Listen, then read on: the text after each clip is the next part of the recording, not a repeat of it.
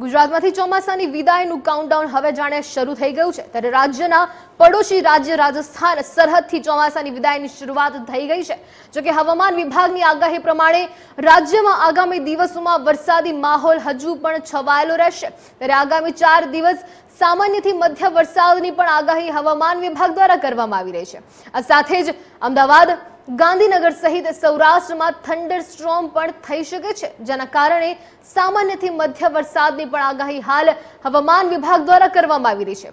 વાત કરીએ તો સોમવારે બપોરે અમદાવાદ કેન્દ્રના હવામાન વિભાગ ડાયરેક્ટર ડોક્ટર મનોરમા મોહંતીએ ગુજરાતમાં પાંચ દિવસનું કહેવા પ્રમાણે હવામાન રહેશે તે પ્રમાણે અંગે માહિતી પણ આપી હતી અને જેમાં તેમણે હવામાન અંગે આગાહી કરતા જણાવ્યું હતું કે રાજ્યમાં આગામી પાંચ દિવસ વરસાદ થવાની સંભાવના હજુ પણ છે. જ્યારે જોઈએ તો ચાર દિવસ સુધી પણ ક્યાંક ક્યાંક છૂટોછવાયા વરસાદની પણ સંભાવના તેઓએ વ્યક્ત કરી છે.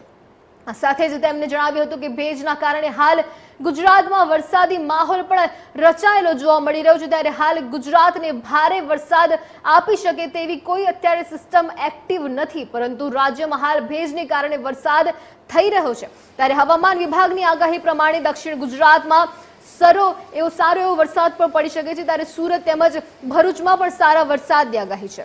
બનાસકાંઠા, સાબરકાંઠા તેમજ મધ્ય વરસાદમાં સર્વેમાં પડી શકે છે. તે ઉપરાંત અમદાવાદમાં મધ્યથી સામાન્ય વરસાદની આગાહી પણ કરવામાં આવી છે.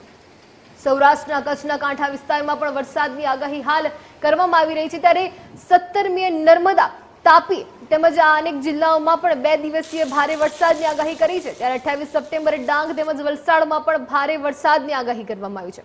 મનોરમાએ જણાવ્યું તે પ્રમાણે કે દક્ષિણ ગુજરાતમાં મોટા ભાગના જિલ્લામાં પણ થંડર સ્ટ્રોમ એક્ટિવ થઈ શકે છે. અમદાવાદ આણંદ પંચમહાલ, દાહોદ તેમજ આ સર્વેમાં થંડરસ્ટ્રોમ એક્ટિવ પણ થઈ શકે છે. ત્યારે ચાલીસ કિલોમીટરની ઝડપે પણ પવન ફૂંકાઈ શકે છે. આ દરમિયાન સામાન્યથી મધ્ય વરસાદની પણ શક્યતા તેમણે વ્યક્ત કરી છે.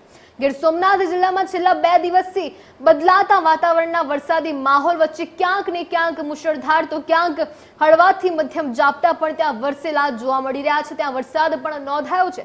જોકે બે દિવસ બદલાતા આ વાતાવરણથી ખેડૂતોને ફાયદો થશે કે નુકસાન? કારણ કે ગીરમાં અનેક ખેડૂતોએ આગોતરી મગફળીનું વાવેતર કર્યું છે, જે હવે લણવાની તૈયારીઓ છે. જ્યારે અરવલ્લીમાં ચોમાસુ સિઝનમાં ખેડૂતોએ કુલ એક પોઈન્ટ એસી લાખ હેક્ટર જમીન પૈકી બીજા ક્રમે કપાસનું વાવેતર કર્યું હતું. પરંતુ સમયસર વરસાદનો અભાવ અને સતત વાદળછાયા વાતાવરણને પગલે પાકમાં સુકાનો રોગ પણ આવતા કપાસના પાક હવે નષ્ટ થવાને આરે પણ ક્યાંક ને ક્યાંક જોવા મળી રહ્યા છે. ત્યારે ચાલુ સાલે મોંઘા ભાવે બિયારણ લાવી તેમજ સારા એવા ઉત્પાદનની આશાએ ખેડૂતોએ વાવેતર કર્યું હતું. પરંતુ રોગના કારણે આશા ઠગારી નીવડે તેવી પણ સ્થિતિ હાલ જોવા મળી રહી છે, જેથી ખેડૂતો પણ કફોડી હાલતમાં મુકાયા છે.